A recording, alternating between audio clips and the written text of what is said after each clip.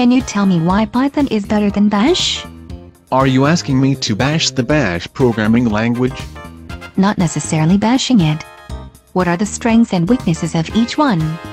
You can use Bash, also known as shell scripting, for a lot of things. Yet almost anything you can do in Bash you can do in Python. Why would anyone do anything in Bash? Bash scripts will be shorter than the short Python program. But the Bash script will be much longer than a longer Python program. I'd expect a programming language to be better at creating programs. Bash lets you create pipelines from existing programs in the shell to other programs, something Python doesn't do neatly. It sounds like Bash is better than Python.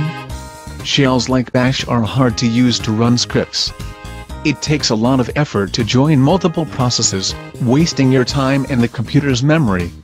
Bash is faster, then.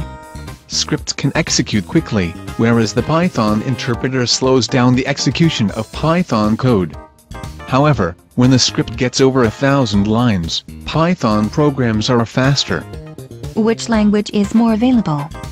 The bash shell is not on all Linux instantiations. Python is part of a majority of Linux distributions now. The world does not run on Linux, no matter what all those sysadmins would like to think. Python scripts are more maintainable. Because you are creating code modules. Bash lacks pointers, linked lists or other data structures. Bash can't tell when one data record ends and another begins, so you can't use it for database queries. So that's why Python gets used for web interfaces. Bash won't let you save someone's shopping order or query a database record via web interface. Then there's the fact Python is far better than Bash when it comes to file name handling. Hey, you have made web interface.